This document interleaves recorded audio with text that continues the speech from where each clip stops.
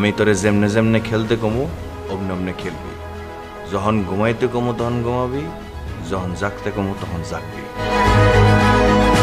আমি যখন বলব তোর পাঠ শেষ শেষ ওকে? গুড বাই ফোনে কে ছিল রে? ছিল একজন কেন? আরে তোর চেহারা অন্যরকম লাগছে। ওই কিডন্যাপার না তো?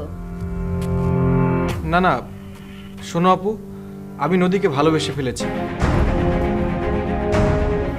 একটা কিডন্যাপারের ভয়ে আমি নদীর সাথে সম্পর্ক ভাঙতে পারব না। কি? আবারও নদীর সাথে তোর বিয়ে? ইম্পসিবল আরে কেন বুঝতে পারছিস না? এবার তো তোকে মাস্টারটা মেরেই ফেলবে।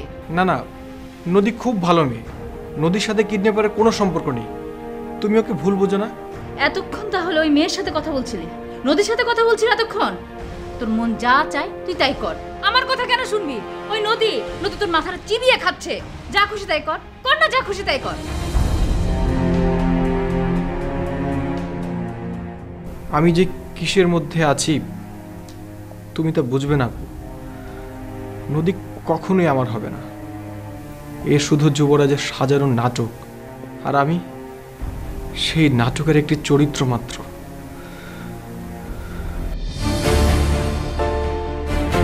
আন্টি সালাম আলাইকুম নোটিসলেস চলে আসলাম মানে বিনা নোটিসে চলে আসলাম কিছু মনে করেন নাই তো ইফ ইউ ডোন্ট মাইন্ড না না বসো না তুমি বসো। থ্যাংক ইউ আন্টি স্যার কই? মানে স্যারের একটু দরকার ছিল একটু প্রাইভেট কথাবার্তা ছিল আর কি। তোমার স্যার তো বাসায় নেই কলেজে গেছে। তুমি এত ইতস্তত বোধ করছ কেন? তোমার যখন খুশি তখন তুমি চলে আসবে। তুমি আমাদের যে উপকার করেছ বাবা আমরা কখনোই ভুলবো না। না কই আর কি করলাম? মানে এই ঘটনা যখন ঘটে আমি যদি হসপিটালে না থাকতাম আন্টি আমি তো জীবনেও এই ঘটনা ঘটাইতে দিতাম না। আজকে সুখে শান্তিতে সবুজের বাসায় ও ঘর সংসার করতো। কি আর করা বাবা বলো? কিন্তু সেদিন তুমি যদি জোর না করতে তাহলে সবুজ ওর বোনের ভয়ে এই বিয়েতে রাজিই হতো না। তুমি আমাদের বড় উপকার করেছ বাবা। এইসব কথা বলে শুধু শুধু আন্টি কেন লজ্জার মধ্যে ফেলাইতেছেন? আমি ভেরি সাইফুল ম্যান খুবই লজ্জা পাই আমি এইসব কথায়। কিন্তু আন্টি ওই আজকে তো আঙ্কেল নাই বাসায় আমি তো একটা ওই প্ল্যান নিয়ে আইছিলাম আপনার সাথে শেয়ার করি। বলো না কি বলতে চাও? কোনো সমস্যা নেই বলো তুমি। না মানে জোর করে যেমন ভালোবাসা হয় না জোর করে কিন্তু বিয়াও হয় না।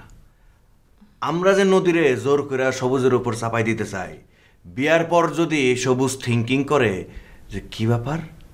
হয়তো আমারে ভালোবাসতো না, ওর তো জোর করে বিয়া করছি, তারপরে যদি অশান্তি শুরু হয়, দাম্পত্য জীবনে অসংখ্য অসংখ্য বার কলহ চিন্তা করতে থাকেন আন্টি, নদীর লাইফ শেষ কিন্তু। এটা তো সত্যি কথা। আমরা জোর করাতেই সবুজ এই বিয়েতে মত দিয়েছে। আর সেটাই তো বুঝাইতে পারতেছি না। সেই জন্যই তো আজকে এখানে আসা। মানে আমি চাই নদী সবুজ রে ভালোবাসা বিয়া করুক। তোমার কথা শুনে তো ভালো লাগছে। তোমার প্ল্যানটা কি বলো তো আমি আন্টি কি দুজনের দেখা সাক্ষাৎটা একটু বাড়ুক। আন্ডারস্ট্যান্ডিং লেভেলটাও একটু বাড়ুক। তাতে করে বিয়ার পরে আর কোনো রকম সন্দেহ বা কোনো সমস্যা হইব না। তার মানে তুমি বলতে চাইছো ওরা মেলামেশা করুক। তাহলে দুজনের মধ্যে কোনো সমস্যা থাকবে না। মানে ওদের আন্ডারস্ট্যান্ডিং বাড়বে। রাইট কিন্তু বাবা আমাদের সমাজে বিয়ের আগে ছেলে মেয়েদের বাইরে মেলামেশা তো একদমই পছন্দ করে না। না না নো আউটডোর ইনসাইড ইনডোর মানে ঘরের ভিতরেই। আমি সবুজরে আসতে বলছি আমি থাকব আমার সামনে ওরা কথা বলবে হ্যাঁ। মানে আন্ডারস্ট্যান্ডিংটা কি হয় বোঝার ব্যাপার আছে না একটু? মানে তুমি থাকবে? জি। তাহলে তো কোনো সমস্যাই নেই। আন্টি ওই সবুজ বুঝি চলে আইতেছে। আপনি একটু নদীরে পাঠান না একটু তালিম দেই। মানে এই বয়সে প্রেমের তালিম ঠিক আছে বুঝছেন ঠিক আছে আমি বুঝতে পেরেছি। তুমি বসো আমি পাঠিয়ে দিচ্ছি। জি।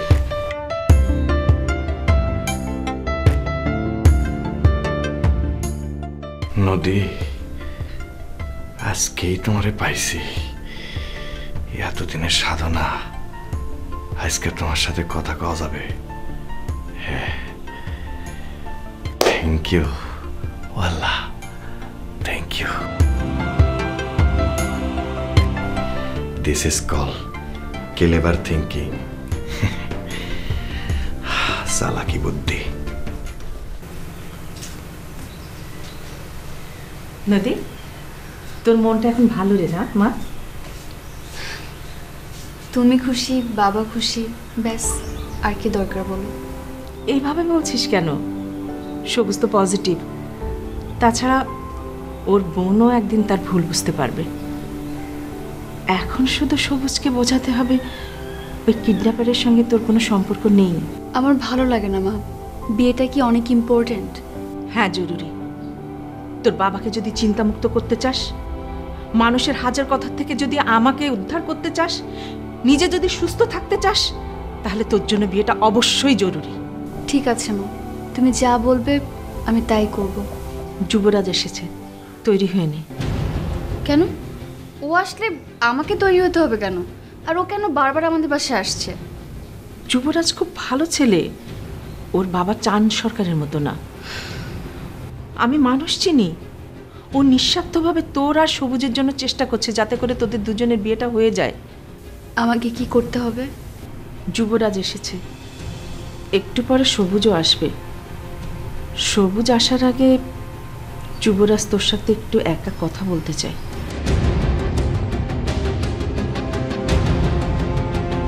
একলা কি কথা বলবে?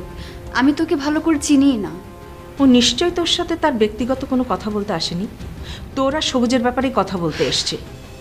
আচ্ছা ঠিক আছে। তুমি যাও আমি আসছি। কথাগুলো তুই অন্যভাবে নিস না। যা কিছু করা হচ্ছে, তোর ভালোর জন্য করা হচ্ছে। যুবরাজের সাথে খারাপ ব্যবহার করিস না, মা। মনে থাকবে। তুমি যাও, আমি আসছি।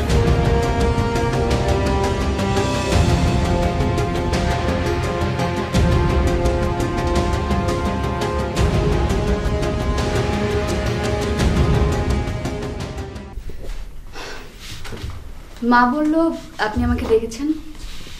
নদী তুমি আমার সাথে কথা বলো না কেন? তুমি কি আমাকে পছন্দ করো না? You not like my type কি হলো? হাসি দাও কেন?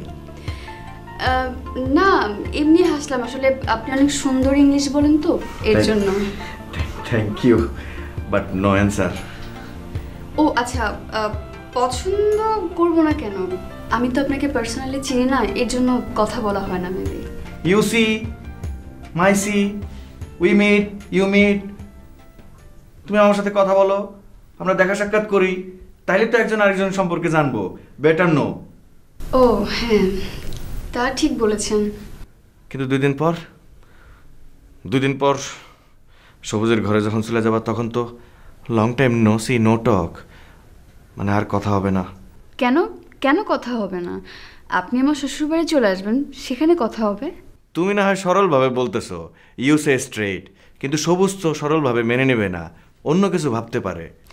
না না ও অন্য কিছু ভাববেন না ও এরকম না। তুমি না খুব ভালো মেয়ে। আমি তো মতো এত ভালো মেয়ে কখনো দেখি নাই। একই এলাকায় থাকি অথচ কত দেরিতে তোমাকে দেখছি। ইস! আফসোস লাগে জানো তোমার আগে যে কেন দেখলাম না কেন দেখলাম না why I not see you আগে দেখলে কি হতো? অনেক কিছু হইতো। যা আগে আমি কখনো ভাবি নাই তুমিও ভাবো নাই। আপনি আপনি কখন এলেন? এই তো অনেকক্ষণ। তোমরা দুজন দুজনকে নিয়ে ব্যস্ত ছিলে তাই বিরক্ত করিনি। হ্যাঁ মা বলেছিল আপনি আসবেন। এর মধ্যে উনি চলে এসেছেন। চান্দু, আমার পাশে নদীরে দেখে এখন তোর খুব হিংসা হইতাছে না? আমার কলিজাডারে তুই বিয়া করতে চাইতাছস। তাইলে ভাইবা দেখ, আমার কতটা কষ্ট লাগতাছে। সবুজ, তুই এই যুবরাজের কলিজায় খুর দিয়া হাজার হাজার পোষ মারতাছস। আমি ক্ষত বিক্ষত হয়ে যাইতাছি। মনটা চায় তোর গলা চেপা দইরা খুর দিয়া তোর কলিজা পোষাই। আমিও সুযোগের অপেক্ষায় আছি সবুজ। এইবার তরে আমি এমন শিক্ষা দিমু একেবারে মাংকি ড্যান্স যারা কয় বান্দরের নাচ। যুবরাজ ভাই কখন এসেছেন?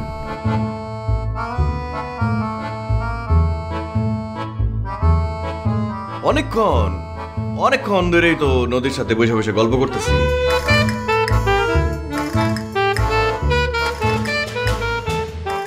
স্টোরি টেলিং তাই শুধুই কি গল্প? আরে শুধু গল্প হইব কেন? চা নাস্তাও তো হইব। I Nadi give me some tea and food চা নাস্তা দাও। আই হেল্প ইউ আমি তোমাকে হেল্প করব চলো। লাগবে না। আপনারা বসুন আমি নিয়ে আসছি।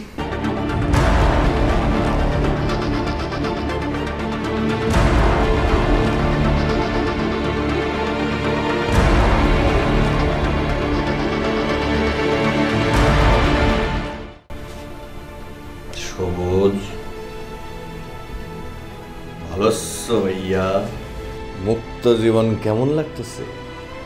ফ্রিডম লাইফ ফ্রেশ এয়ার সজীব বাতাস। ভালো।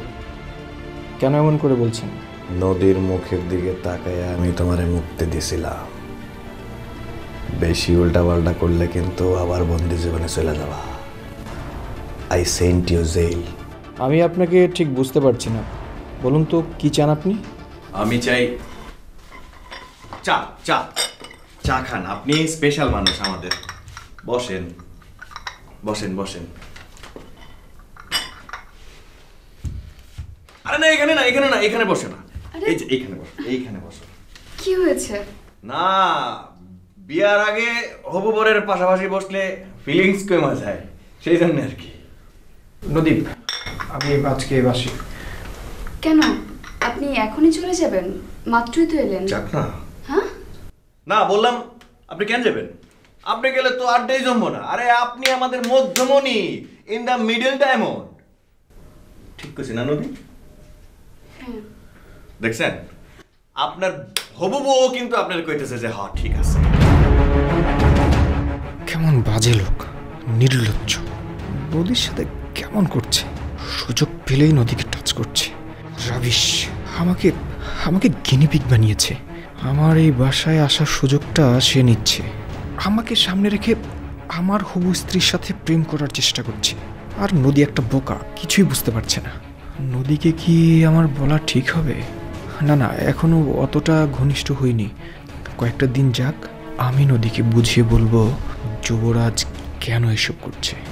আগে ভাগে বললে, নদী যদি যুবরাজকে কিছু বলে ফেলে, তখন তো বেটা ভয়ঙ্কর একটা বাজে কাজ করবে। দেখা গেল আমাকে আবারও কিডন্যাপ করে বন্দি করে ফেলেছে।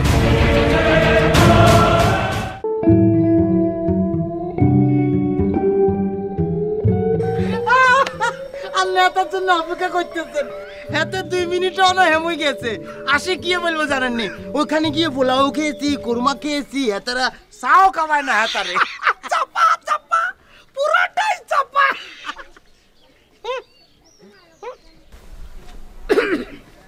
তাহলে ভাইয়া আসসালাম হাউস লাইফ ফাইন ভাইয়া। ভাইয়া কয়ে গেছিলেন? ওদিকে আসলেন যে ভাইয়া। কেন তুমি কি ভুলে গেছো ওইদিকে তোমার ভাবির বাসা? ভাইয়া আয় তো চিনি ও নদী বাবিদের বাসানো কি সুন্দর পথ কেন ওস্তাদ? হুম। আজকে তো তগো বাবির বাসায় গেছিলাম। ব্যাপক খাওয়া দাওয়া হিউজ ফুড পোলাও মাংস কাবাব কোপ্তা রোস্ট একদম খাইতে খাইতে তো আমার দম বন্ধ হয়ে যেতে ছিল স্টপ হার্টিং মুভিং ও তাই নাকি ভাইয়া? কেন বলেন তো ভাইয়া আজকে কি ওই পাশে অনেক বড় কোনো দাঁড় টপ ছিল? ভাইয়া মানে যাওয়াতে গেছেন কতদিন ভালো মন্দ খাই না ভাইয়া। আঙ্গরে লই যেতেন আমরা তো রাস্তাত বসি থাকতে থাকতে হুগাই হুটকিয়ে যেতেছি ভাইয়া। চাপ চাপ! একদম চাপ! ভাইয়া কিসের দাঁত ছিল ভাইয়া? আরে কোনো দাওয়াত টাওয়াত কিচ্ছু না। তোর ভাবি আমার জন্য স্পেশালি এইসব রান্না করছে। ও তাই না ভাইয়া? কিন্তু একটা জিনিস তো হিসাব আমি মিলাইতে পারছি না ভাইয়া। একটু আগে তো সবুজকেও দেখলাম ওই বাসায় ঢুকতে। মানে তারও কি দাঁত ছিল নাকি ভাইয়া? সবুজ? ও হ ভুলে গেছিলাম। ও আসিল কিন্তু ওরে তো দাওয়াত টাওয়াত দেয় নাই ছেঁচড়া তো। নিজের ইচ্ছাই গেছে আর কি। ওরে চলে যেতে কইছে হি ইজ নট গন। যায় নাই। দাওয়াত ছাড়া চলে গেছে। কি রুম চেঁচরা ভাইয়া? হ্যাঁ তার চেহারা দেখলে বোঝা যায় এত কত চেঁচরা কি খারাপ চেহারা। আরে ওরে তো তোর ভাবি দুই চোখে দেখতে পারে না অনলি ফর টু আইস আচ্ছা আচ্ছা আচ্ছা ভাইয়া সেদিন মানে এর আগেও তো সবুজ ওই পাশে মাপ চাইতে গেছে আপনিই না বললেন। কোন দিন না না না ভাইয়া আপনি তো মানে বলছেন, এর আগেও তো বলছেন। বিয়ে ভাঙার জন্য সবুজ মাপ চাইতে গেছে না? একটা জিনিস ভাই আপনারা বলি, সবুজ কিন্তু নানান অজুহাতে বারবার ওই বাসাতে যাচ্ছে, ব্যাপারটা কেমন বলেন তো হ্যাঁ?